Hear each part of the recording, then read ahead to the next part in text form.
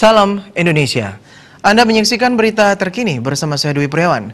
Gugus Tugas Penanggulangan COVID-19 Kabupaten Tabanan kembali melaporkan perkembangan pasien dan kegiatan Satgas terbaru. Data kami sore, kami sore maksud kami untuk jumlah pasien asal Tabanan yang dikonfirmasi positif terjangkit corona atau COVID-19 berjumlah 4 orang.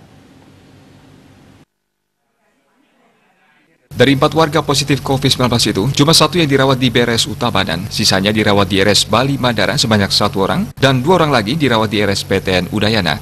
Sementara untuk data pasien dalam pengawasan PDP terjadi perubahan. Sebelumnya, Tabanan memiliki lima tenaga kerja Dakar migran yang masuk pasien dalam pengawasan PDP. Namun kini seluruhnya beralih status. Menurut Ketua Gugus Tugas Penanggulangan COVID-19 Kabupaten Tabanan, Igede Susila dalam laporan hariannya, perubahan data pada status PDP ini berdasarkan kategori dari Dinas Kesehatan yang baru.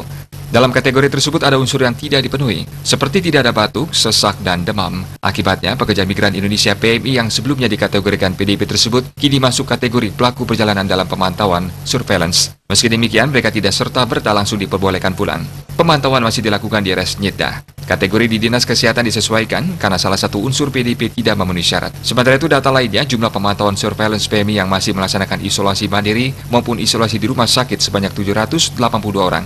Orang tanpa gejala OTG 16 orang dan orang dalam pemantauan ODP sebanyak 13 orang. Puspawati Bali Pos melaporkan.